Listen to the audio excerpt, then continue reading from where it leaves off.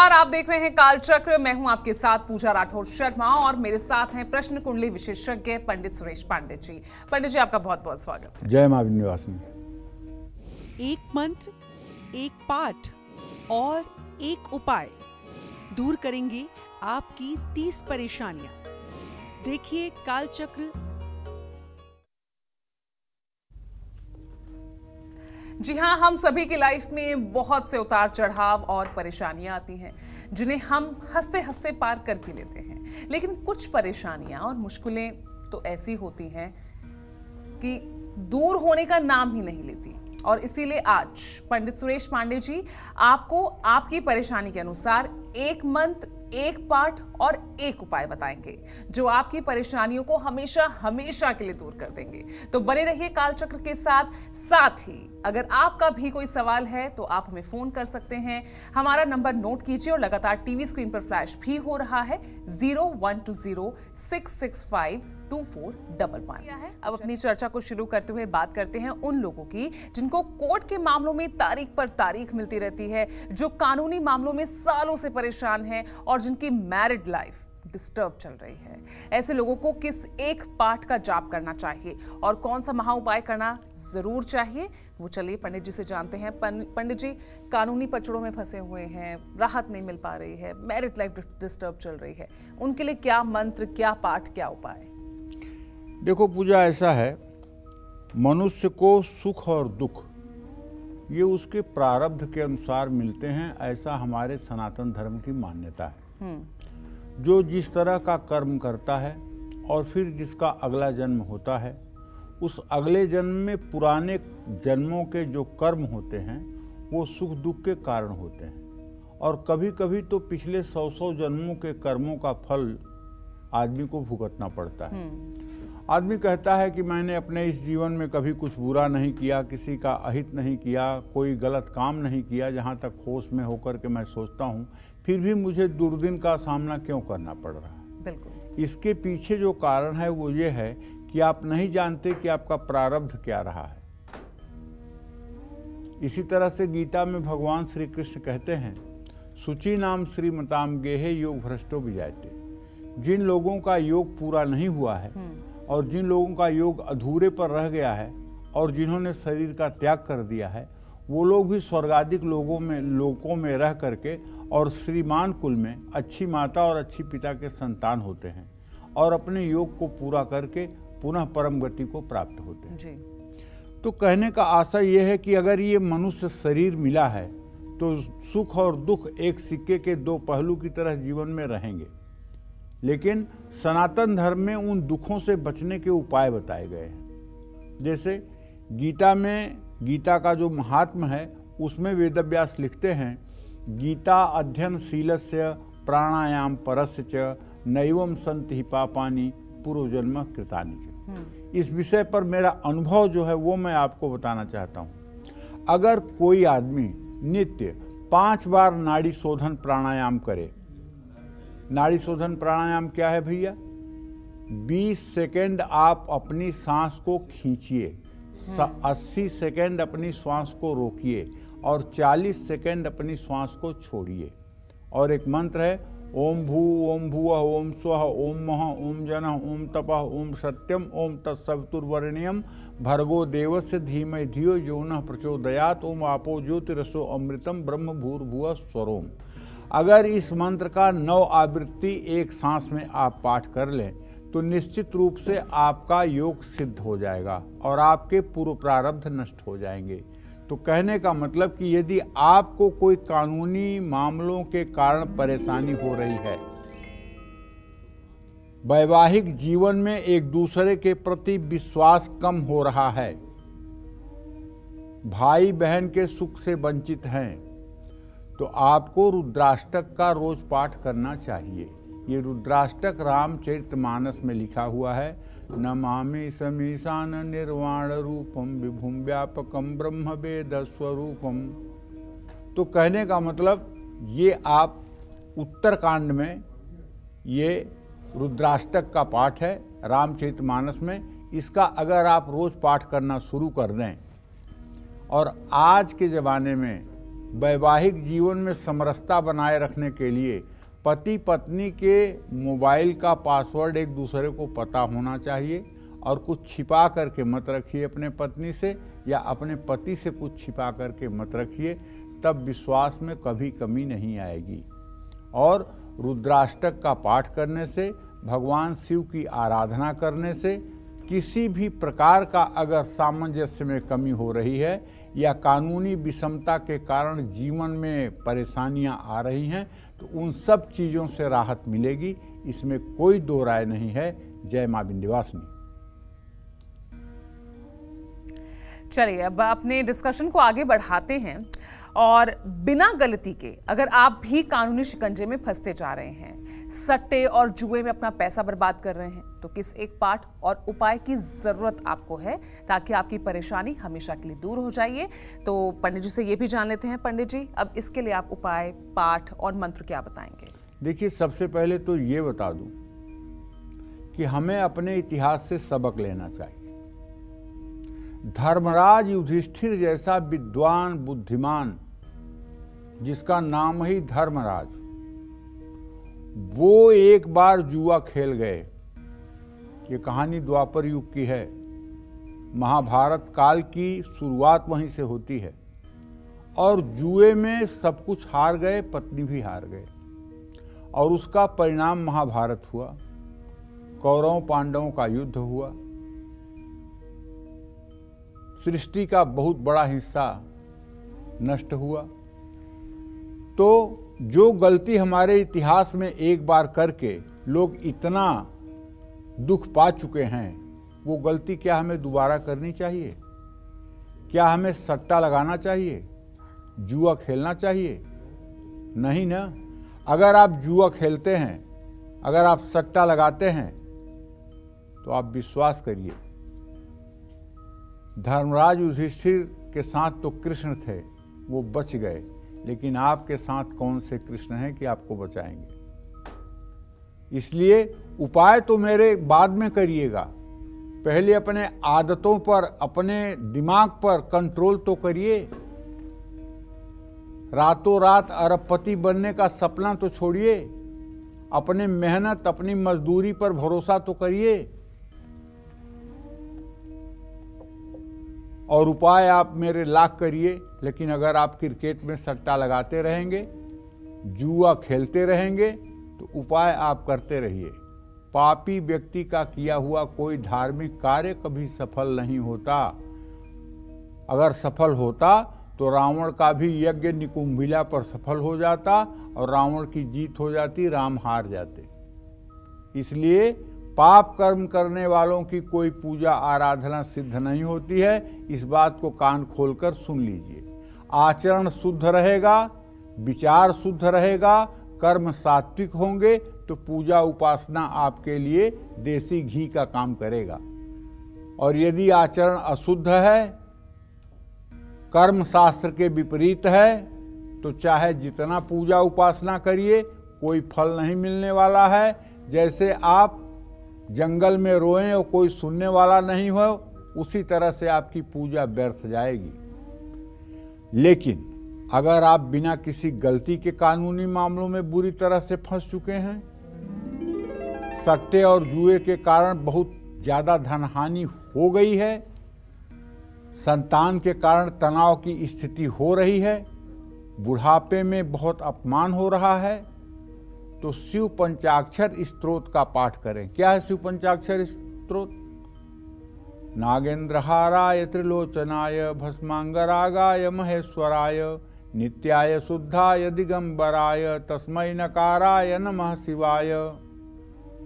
तो कहने का मतलब है, नमः शिवाय पर पाँच श्लोक हैं जो पंचाक्षर कहलाते हैं। नित्य कर्म, पूजा, प्रकाश की किताब ले लीजिए, या स्त्रोत रत्नाकर किताब ले लीजिए, या स्त्रोत रत्नावली किताब ले लीजिए, उसमें शिव पंचाक्षर स्त्रोत है।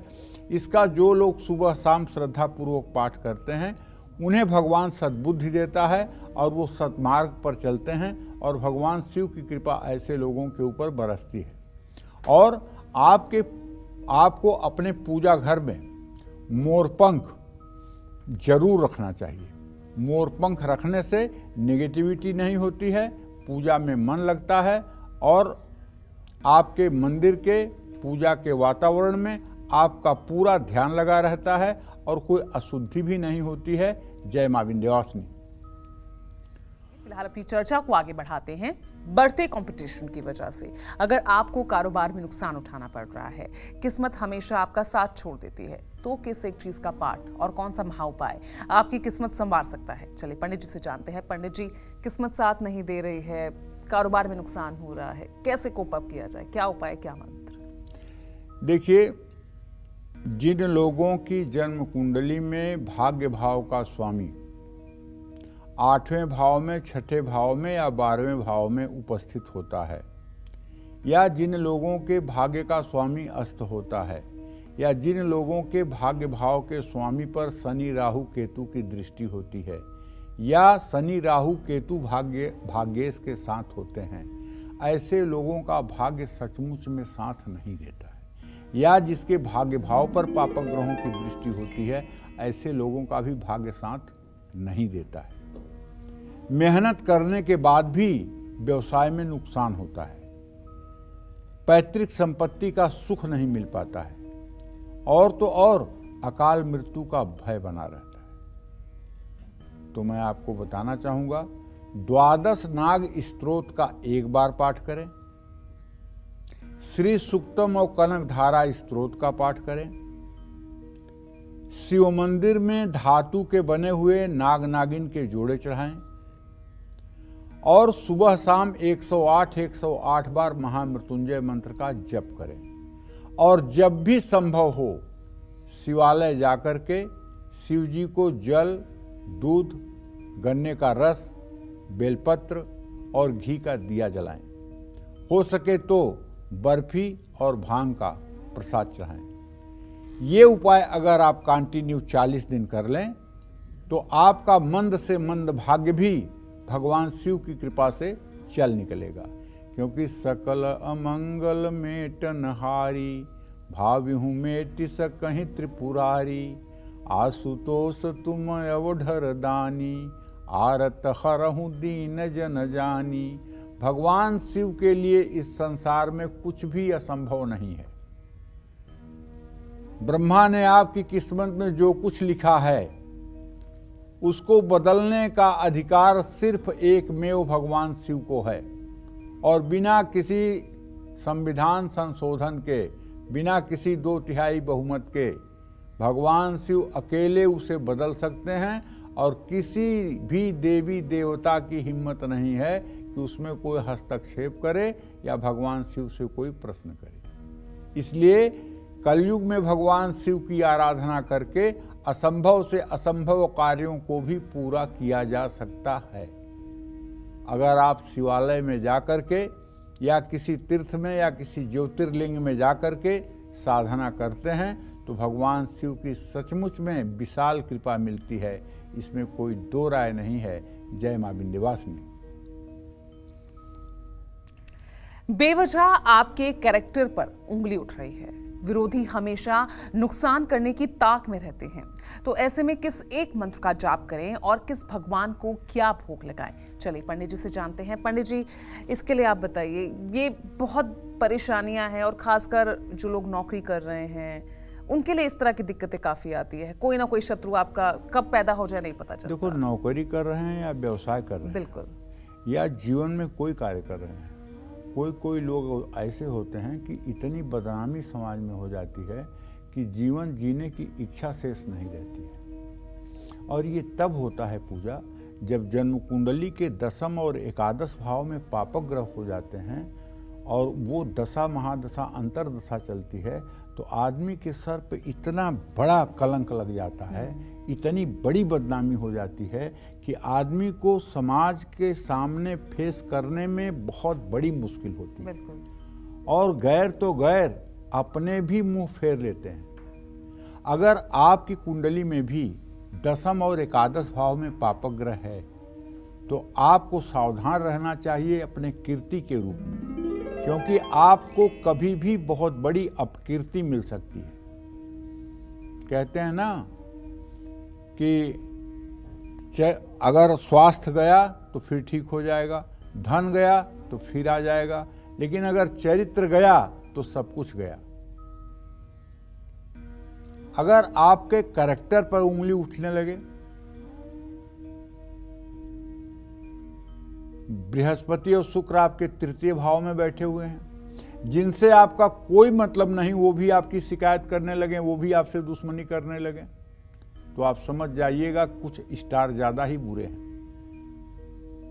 ऐसे में आपको शिव मंदिर में बैठ करके शिवालय में बैठकर, क्षमा करें, शिव मंदिर नहीं, शिवालय, मंदिर तो जिसका छत चिपटा होता है, वो होता है, शिवालय वो होता है, जिसमें पिरामिड होता है ऊपर।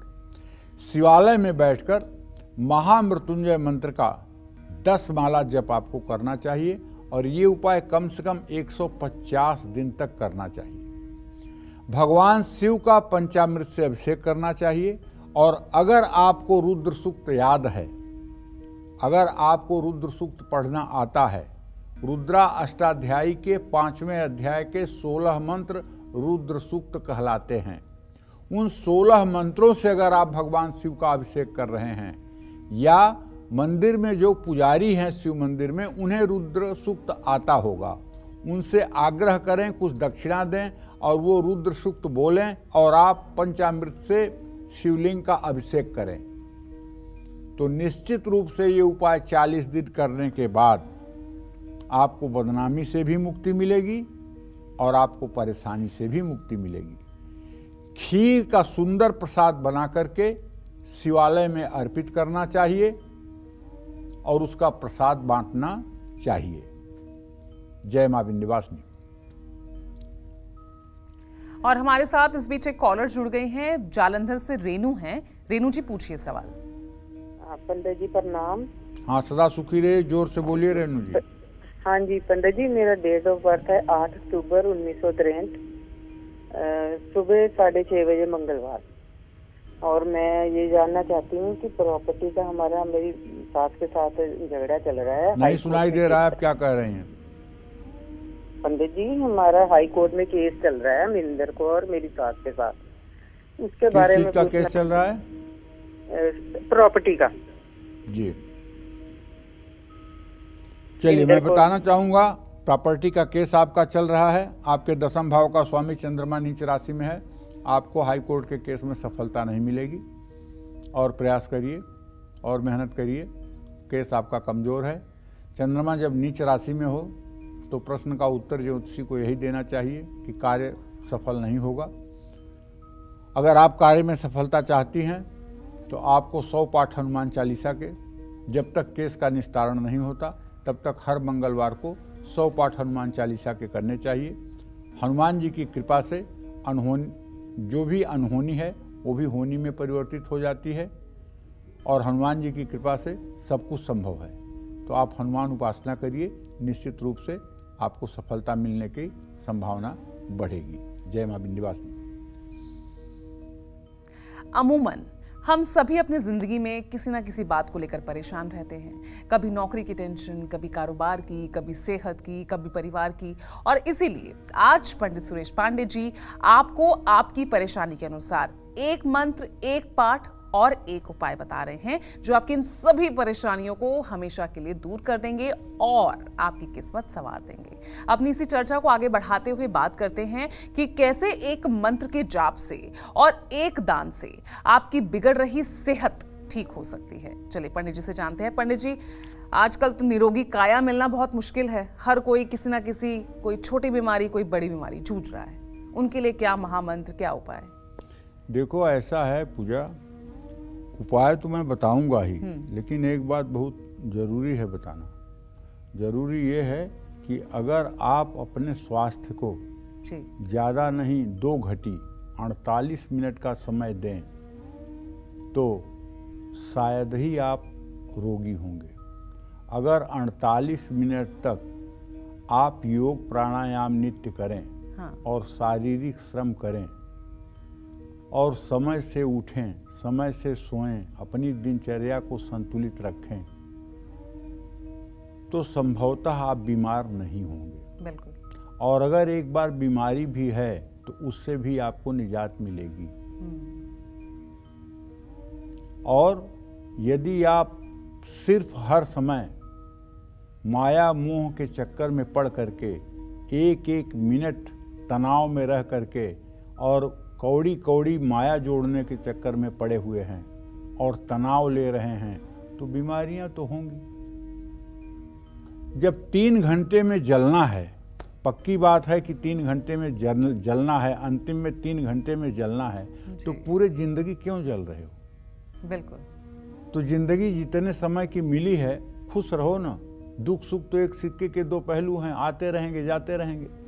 प्रभु श्री राम इस धरती पर आए। तो क्या उनको विषम परिस्थितियों का सामना नहीं करना पड़ा? परम पिता परमेश्वर श्री कृष्ण मानवावतार में आए तो क्या उन्हें उलझनों से दो चार नहीं होना पड़ा? जी। तो जब भगवान भी इस मृत्यु लोक में आकर के और संघर्ष करते हैं तो हम मनुष्य की क्या औकात है? हम क्यों विचलित होते हैं? हमें खुश रहना चाहिए प्रसन्न रहना चाहिए योग प्राणायाम करना चाहिए शारीरिक श्रम करना चाहिए आलस्य बिल्कुल नहीं करना चाहिए और स्वास्थ्य पर अपने ध्यान देना चाहिए।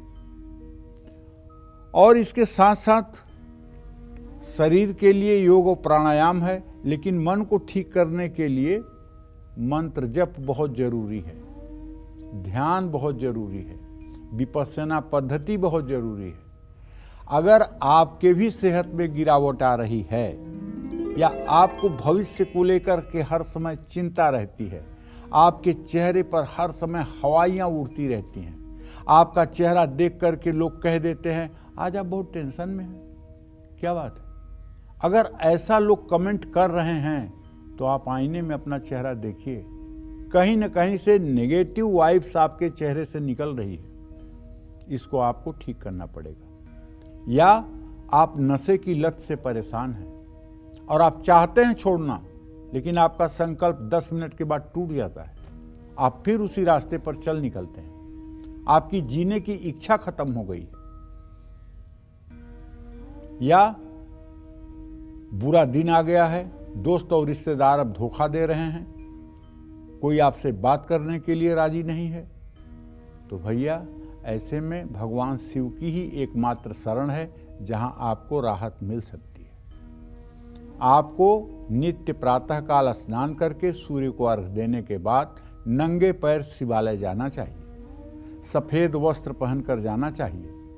एक ऊनी आसन सफ़ेद रंग का लेकर जाना चाहिए। शिवालय जाते समय एक प्लास्टिक या फिर डोलची में गंगा जल, शहद, दूध, चीनी का रस या गन्ने का रस बेलपत्र, ये सब सामग्री घर से लेकर जाना चाहिए। और शिवलिंग का विधिवत पूजन करके, शिव मंदिर में बैठ करके, ओम नमः शिवाय का 24 मिनट तक उत्तर मुँह करके जप करना चाहिए।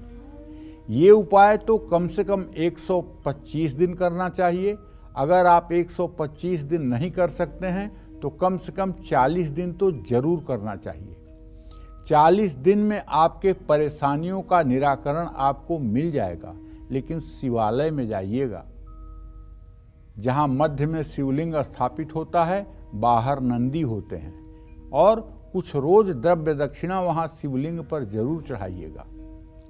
और बहत्तर बुधवार काले कपड़े में उड़द या मूंग बाँध करके किसी जरूरतमंद को दान करिएगा। इससे भी आपकी परेशानियाँ कम होंगी। जय माँ विंध्यवासिनी चलिए अब चर्चा को आगे बढ़ाते हैं। बेवजह के खर्चों पर लगाम लगाने के लिए किस एक पाठ का आप जाप कर सकते हैं और कौन सा उपाय आपकी इसमें मदद कर सकता है? चलिए पंडित जी से जानते हैं। पंडित जी बेवजह बढ़ते खर्चे इनको रोकने के लिए क्या किया जाए? कुछ लोगों को खर्च करने की बीमारी होती है। आज के डेट में ऐसे लोगों को मैं जानता हूँ जिन्हें शॉपिंग करने का नशा है। अगर उनके पास पैसे हो तो वो घूम घूम कर आवश्यक, अनावश्यक चीज़ें खरीदते रहेंगे। चाहे उसका उपयोग हो या ना हो ले लिया करके घर में ठूसते रहेंगे। और जब पैसा खत्म हो जाएगा तो पैसे की कमी का रोना रोएँगे। तो अनावश्यक खर्चों के कारण अगर आप भी परेशान हो रहे हैं तो पहली बात तो आप सोचिए कि आपके लिए क्या आवश्यक है क्या अनावश्यक है? आपको क्या करना चाहिए, क्या नहीं करना चाहिए? कहाँ खर्च करना चाहिए, कहाँ खर्च नहीं करना चाहिए? इसीलिए पुरुषों को चाहिए, पुरुषों को चाहिए कि वो अपनी कमाई का संपूर्ण हिस्सा अपनी धर्म पत्नी को समर्पित कर दें और वो गृहलक्ष्मी घर का बजट बना करके और काम करे। अगर आपकी पत्नी नहीं है तो माँ को ये पैसा दे देना चाहिए और अपने पॉकेट खर्च के लिए भी माँ से पैसा लेना चाहिए। उससे आपका एक रुपए कहीं दुर्व्यसन में खर्च नहीं होगा। पैसे की गर्मी, बहुत बड़ी गर्मी होती है। आप पैसा बैंक में जमा किए रहते हैं। वो पैसा आपके पास भी नहीं रहता है, बैंक में होता है।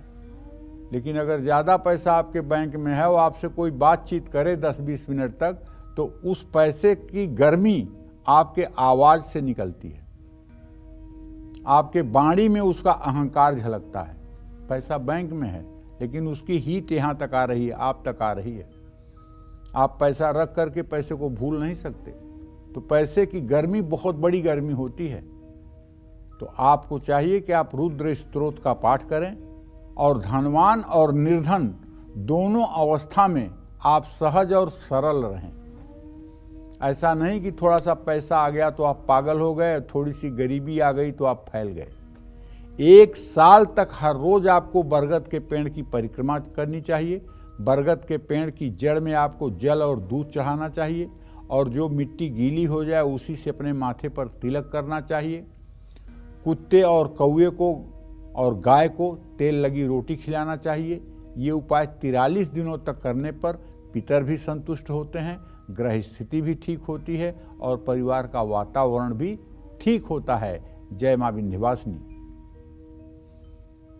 आज के समय में हर कोई अपना बेस्ट देकर प्रमोशन चाहता है, ताकि आने वाले समय में उनका वक्त वो अच्छा बीते।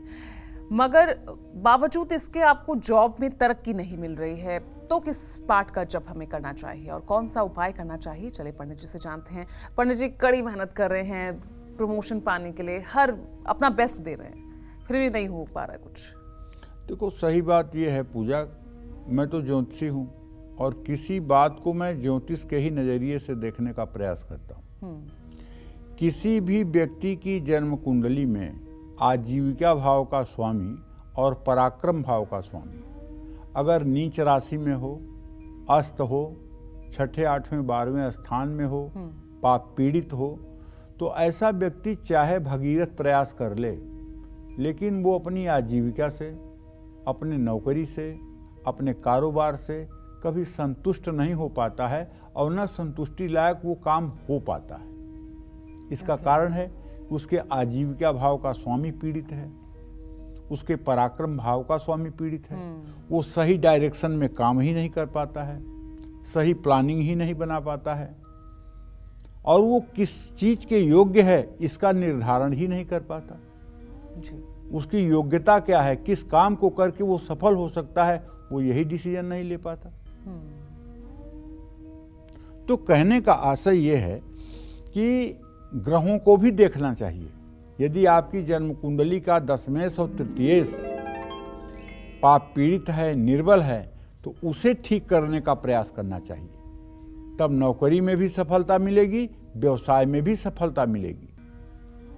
अगर आप बचपन से ही पिता के सुख से वंचित हैं, दसम भाव का स्वामी, राहु शनि से युत है या दृष्ट है, भाग्य साथ नहीं दे रहा है तो आपको महाकाली स्त्रोत का पाठ करना चाहिए। और हर दिन सूर्य को अर्घ ज़रूर देना चाहिए। और सूर्य को अर्घ देकर कम से कम 108 बार अगर नहीं कर सकते हैं तो कम से कम 24 बार गायत्री मंत्र ज़रूर बोलना चाहिए। सूर्य की उपासना करने से अगर पिता की सेहत खराब भी है तो पिता की सेहत ठीक हो जाती है। अगर सूर्य आपका नीच राशि में नीच नवांशक में है और आप अपने पिता के आज्ञाकारी पुत्र बन जाएँ और पिता को प्रसन्न करने की कोशिश करें तो सूर्य ग्रह अपने आप ठीक हो जाता है। पिता की संतुष्टि ही सूर्य ग्रह का ठीक होना है। चंद्रमा की संतुष्टि ही माता को खुश करना ही चंद्रमा की संतुष्टि है। पत्नी को प्रसन्न रखना शुक्र की संतुष्टि है। भाई बहनों को संतुष्ट रखना मंगल की संतुष्टि है। मित्रों को खुश रखना बुद्ध की संतुष्टि है। गुरु को संतुष्ट रखना बृहस्पति की संतुष्टि है। नौकर चाकर को खुश रखना शनि की संतुष्टि है। इन बातों पर ध्यान ज़रूर दीजिएगा और गौर करिएगा कि मैं क्या कह रहा हूँ इस विषय पर ध्यान ज़रूर दीजिएगा। जय माँ विंध्यवासिनी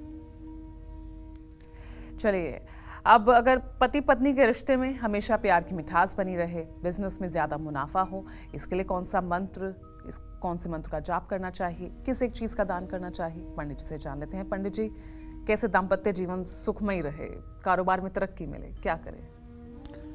देखो कहते हैं कि पत्नी जो है ये पूर्व जन्म के प्रारब्ध के अनुसार प्राप्त होती है। बाणी रसवती अस्य भार्या पुत्रवती सती, लक्ष्मी दानवती अस्य सफलम तस्य जीवनम। जिसके बाणी में मिठास हो, बाणी रसवती अस्य भार्या पुत्रवती सती, और जिसकी पत्नी बेटों वाली हो, और सती और पतिव्रता हो। बाणी रसवती से भार्या पुत्रवती सती लक्ष्मी दानवती से लक्ष्मी इतनी हो कि उसका दान किया जा सके। सफलम तस्य जीवनम। उसी का जीवन इस दुनिया में सफल है। और अगर आपके जीवन में, वैवाहिक जीवन में तनाव है, कारोबार में बदलाव करने के बाद भी सफलता नहीं मिल रही है तो शिव मंदिर में बैठकर भैया कम से कम 24 मिनट तक ओम नमः शिवाय का जप करिए। अपने त्रिकुटी पर जो है, भगवान शिव का कर्पूर वर्ण में, एकदम गौर वर्ण में ध्यान करिए। ग्यारह नारियल मंदिर में दान करिए। अपने सिरहाने ग्यारह मोरपंख बाँध करके रख दीजिए और उसी बेडरूम में रोज़ सोते समय एक घी का दिया जलाकर, गाय के घी का दिया जलाकर तब सोने जाइए। दिया ऐसी जगह पे जलाइए ताकि उससे कोई चीज़ जलने का भय ना रहे। और दिया अगर ईशान कोण में जलाया जाए तो ज़्यादा अच्छा होगा। जय माँ बिंदवासिनी चलिए आगे चर्चा को बढ़ाते हैं। तो प्रॉपर्टी। प्रॉपर्टी में प्रॉफिट हो पढ़ाई में सफलता पाने के लिए किस जगह किस चीज़ का पाठ करें और किस एक चीज़ का दान करें? पंडित जी से जानते हैं। पंडित जी बताइए। देखो प्रॉपर्टी बहुत बड़ी चीज़ है। लोग पूरे पूरे ज़िंदगी नौकरी करते रह जाते हैं। व्यवसाय करते रह जाते हैं, लेकिन घर हो नहीं पाता है। होता है तो बिक जाता है। किराए पर रहने के लिए मजबूर रहते हैं। दो दो साल पे घर बदलना पड़ता है। ये बड़ी पीड़ादायक स्थिति होती है। मैं तो ये कहूँगा कि अगर आपके घर का सपना हर कोशिश करने के बाद पूरा नहीं हो पा रहा है तो उपाय तो मैं बताऊँगा ही, लेकिन एक ऐसा उपाय बताऊँ कि जो ब्रह्मास्त्र हो जाए। तो आप बिंध्यवासिनी ज़रूर जाइए। और बिंध्यवासिनी जाइएगा, माँ बिंध्यवासिनी का दर्शन करने के बाद काली खोह में महाकाली का मंदिर है, वहाँ जाइएगा। और वहाँ काली जी का दर्शन करने के बाद रोपवे पे चढ़ करके ऊपर जाइएगा पहाड़ पर। वहाँ आप देखेंगे ना, हज़ारों घर पत्थर के बने हुए हैं। वहाँ गिरे हुए जो पत्थर हैं पहाड़ पर, उन पत्थरों को उठाकर आप भी एक घर बनाइएगा। और अगर ये उपाय आपने दो तीन बार कर दिया तो आप विश्वास करिए 24 महीने के अंदर आपका भी घर होगा। अगर आपके कारोबार में अस्थिरता है, पढ़ाई में सफलता नहीं मिल रही है, संपत्ति को नुकसान हो रहा है तो शिवलिंग के सामने बैठकर शिव चालीसा का पाठ आपको 10 बार करना चाहिए और साबुत मसूर का दान आपको किसी हनुमान मंदिर में करना चाहिए। जय माँ बिंदवासिनी आजकल हर इंसान कहीं ना कहीं पढ़ाई से, मकान से गाड़ी या बाकी चीज़ों के लिए कर्ज लेता रहता है, लेकिन इसे चुकता करने में बहुत सी परेशानियाँ सामने आती है। अब ऐसे में किस मंत्र का जाप करना चाहिए? कौन सा उपाय करना चाहिए? चलिए, पंडित जी से जानते हैं। पंडित जी, देखा जाए तो आज हर कोई किसी ना किसी कर्ज के तले दबा हुआ है। कैसे छुटकारा पा सकते हैं? कर्ज कुछ लोगों के लिए स्टेटस सिंबल है। बड़े रोप से लोग कहते हैं मैं एक फ़ोन कर दूँ तो मेरे पास करोड़ों रुपए आ जाएँगे। और मेरे पिताजी कहा करते थे, गए पूत जब मांगे पाए। वो आदमी सबसे अभागा होता है जिसको आसानी से कर्ज मिल जाए। वो आदमी सबसे बदनसीब होता है जिसको आसानी से कर्ज मिल जाए। क्योंकि कर्ज अगर आसानी से नहीं मिलेगा तो आप स्वावलंबी होकर के अपनी समस्याओं का समाधान करेंगे। और अगर कर्ज आसानी से मिल रहा है तो आप चारवाक के दर्शन पर जिएँगे। यावत जीवेत सुखम जीवेत, ऋणम कृत्वा घृतम पिबेत। जब तक जियो सुख से जियो, कर्ज लेकर घी पियो। तो अगर आपके भी बच्चे रोग से परेशान हैं और कर्ज के लेन देन में नुकसान हो रहा है तो भैया, आपको ऋण मोचन मंगल स्त्रोत का पाठ करना चाहिए। अगर लाख दो लाख कर्जा है तो ऋण मोचन मंगल स्त्रोत का सात बार सुबह शाम पाठ करने से कर्ज से आपको मुक्ति मिल जाएगी। लेकिन अगर बहुत बड़ा कर्जा है, तब तो आपको गजेंद्र मोक्ष का पाठ रोते हुए करना चाहिए। इतना ज़्यादा आपके मन में भाव आए कि आपके आँखों से आँसू निकले और राम दरबार के सामने गजेंद्र मोक्ष का पाठ करिए रोज सुबह शाम। शिव मंदिर में बैठकर ओम नमः शिवाय, ओम शंकराय नमः, इस मंत्र का जप करिए और घर के मुख्य द्वार पर चांदी का स्वास्तिक दोनों दरवाजों पर ज़रूर लगाइए।